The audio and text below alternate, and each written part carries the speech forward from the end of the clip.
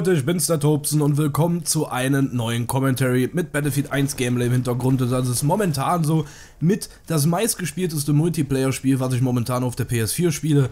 Auf der Xbox One spiele ich momentan echt wenig, muss ich sagen. Ich weiß nicht wieso. Also vorher habe ich da ja ziemlich viel Battlefield 4 gesuchtet. Da hatte ich ja über 300 Spielstunden zum Schluss oder so, wenn ich das mit der PS4 zusammenrechne. Auf der PS4 hatte ich 100, auf der Xbox One hatte ich 200. Also es war schon äh, einiges. Ja, Battlefield 1 spiele ich momentan aber am meisten. Alles ist besser als dieser ganze Call of Duty Dreck.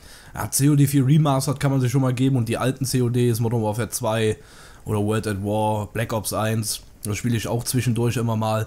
Aber das neue, ne, das, das will ja keiner spielen. Da war sogar Black Ops, äh, Black, Black, Black Ops, Black Ops 3. Wahrscheinlich die Black Ops 3. Black Ops 3 war da sogar besser. Ja, das muss man definitiv sagen, obwohl ich echt kein Fan von diesen Rumgejumpe bin, aber Black Ops 3 war ganz in Ordnung. Auch wenn ich eher halt der klassische Fan bin von Boots on the Ground, wenn es um einen Militärshooter geht. Das ist einfach so. Aber Battlefield 1 macht echt Fun. Ich bin mal gespannt, wie lange ich da noch Spaß dran haben werde, weil es kommen ja noch DLCs, da bin ich auch mal gespannt drauf, aber ich frage mich echt, wie die das mit der Langzeitmotivation hinkriegen wollen, wie bei Battlefield 4, weil da gab es ja doch ziemlich viele Waffenaufsätze, die man immer, immer wieder freigeschalten hat. Das hat ja ewig gedauert, bis man alles freigeschalten hat. Ich habe bis heute noch nicht alles freigeschaltet, mit 300 Spielstunden. Aber man kriegt ja immer zusätzliche Aufsätze, die man nur durch Battle Packs bekommen kann. Ah, das ist, äh, das ist ein Teufelskreis, muss man sagen. Also da, da, da, da kann man irgendwie nie alles kriegen, glaube ich.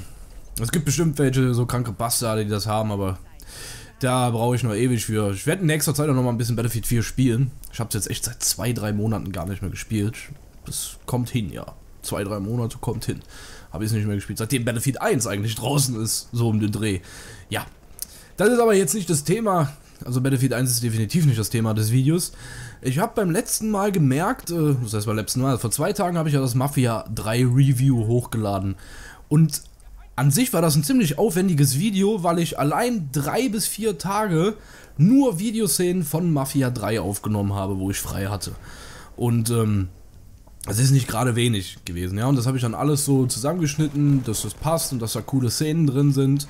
Und natürlich auch äh, versucht, das Ganze möglichst, äh, möglichst, äh, ja, da merkt man, dass es nicht geskriptet ist, dieses Commentary, wie es eigentlich nie ist.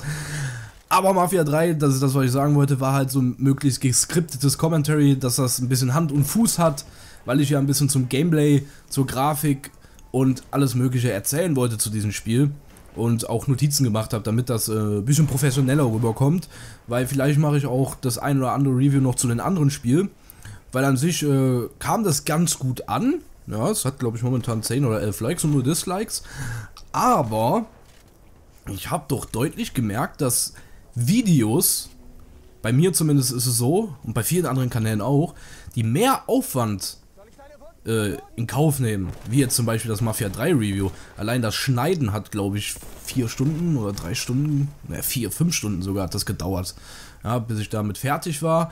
Dann halt noch äh, die Tonaufnahme, so hat schon einen halben Tag gedauert, ja, oder ein bisschen mehr sogar. Also ich saß auf jeden Fall bis in den Abendstunden, saß ich an dem Video dran. Ich habe zwischendurch immer Pause gemacht, klar.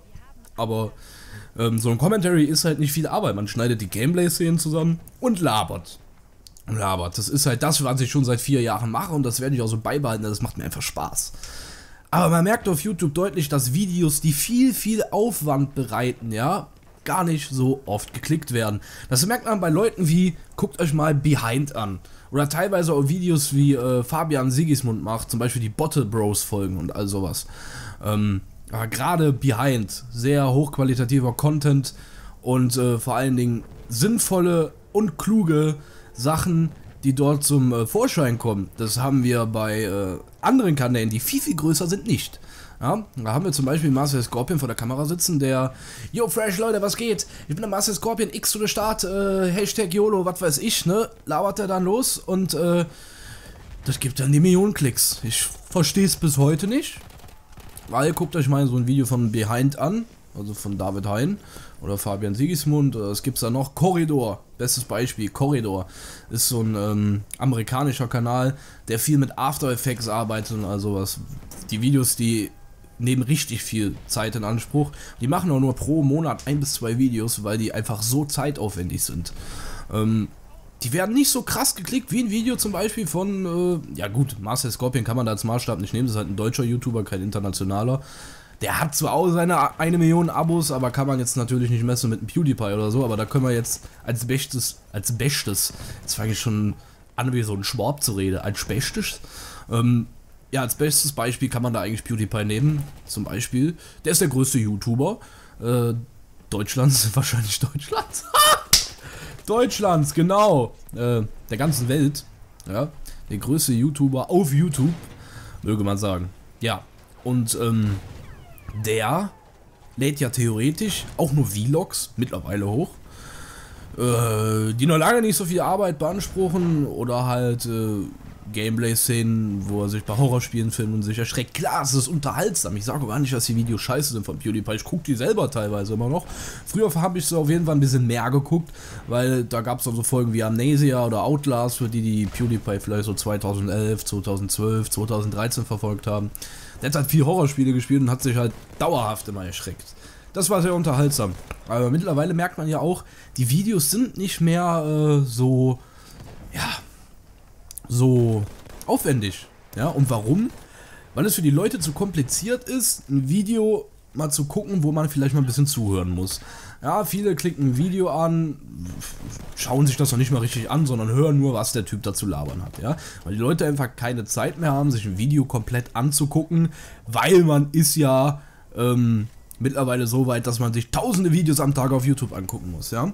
Früher war das so, da hat man äh, gespannt auf eine nächste Folge Let's Play gewartet von Junk Diesel, zum Beispiel, den habe ich früher gerne geguckt. Äh, mit denen habe ich mit den, äh, mit denen, mit denen nicht, für, wegen denen, ja, habe ich den Scheiß überhaupt angefangen, das Ganze hier. Weil der hat damals Let's Play Hitman Blood Money gemacht, das war 2009 und da habe ich gesagt, das muss ich auch machen. Ähm, ja, den habe ich eigentlich damit angefangen oder halt Bestes Beispiel Gronk damals war ja auch noch nicht so groß, 2010, 2011. Ähm, also damals auch schon groß, aber im Vergleich zu heute war es ja gar nichts. Ähm, da hat man sich gefreut auf eine nächste Folge. Ja, mittlerweile laden die ja tausende Videos hoch und da weiß man gar nicht mehr, wie man äh, überhaupt hinterherkommt. Deswegen mache ich auch, wenn ich denn daheim bin und äh, gerade nicht im Dienst, dann produziere ich ab und zu schon mal Videos vor aber ich lade nie mehr Videos als vier Videos die, die, Woche hoch. Und ich will gar nicht so viel Content produzieren, dass immer wieder welche ähm, nicht nachkommen mit den Videos, ja. Und ähm, ich hätte auch, glaube ich, an sich gar keine Zeit dafür, in der Woche zehn Videos zu machen. Allein schon wegen Arbeit. Dann noch äh, kommt noch natürlich hinzu, dass ich einen Zweitkanal habe, Military Corner. Da mache ich natürlich nicht so krass viele Videos zu, weil das viel Videobearbeitung in Anspruch nimmt, dieser Kanal. Der ist ja auch recht erfolgreich mit mittlerweile 80.000 Abonnenten. Ähm, gut, aber da mache ich halt nur zwei bis vier Videos im Monat zu. Weil das halt, wie gesagt, viel Videobearbeitung in Anspruch nimmt. Ähm, dann habe ich noch als Hobby selber Militär. Das ist nicht nur mein Beruf, das ist auch mein Hobby. Ja, äh, da machen wir auch relativ viel. Ich und meine Freundin. Meine Freundin ist auch Soldat und die ist auch ziemlich militärverrückt. Äh, ja, dann unternimmt man halt noch Sachen mit Freunden, Bekannten und all so ein Mist.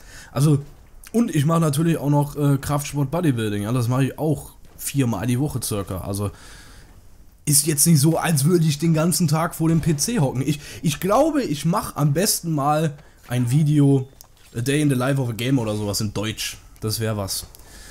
Ja, und was mir natürlich, äh, natürlich, was mir natürlich auch auf den Sack geht, ist diese ganze Scheiße mittlerweile auf YouTube Deutschland, dass man immer jeden in die Kommentare beleidigen muss und dann dann immer Hurensohn schreiben muss oder Bastard, Wichser. Das, das, das ist doch. Ganz ehrlich, würdet ihr, das, ihr euch das auf der Straße trauen? Nein. Auf der Straße würde man zu eingehender sagen, würdest du ordentlich eine auf die Fresse kriegen. Ne? Das habe ich schon mal gesagt im Video. Wenn ihr doch sowas in die Kommentare schreibt, dann macht das doch mal auf der Straße und prügelt euch mal richtig und haut euch mal auf die Fresse. Mal gucken, wie euch dann das gefällt. Damit sind jetzt nicht meine Zuschauer unbedingt gemeint, aber viele, viele andere der YouTube-Community. Das ist, ähm, ja, ist leider äh, mittlerweile traurig.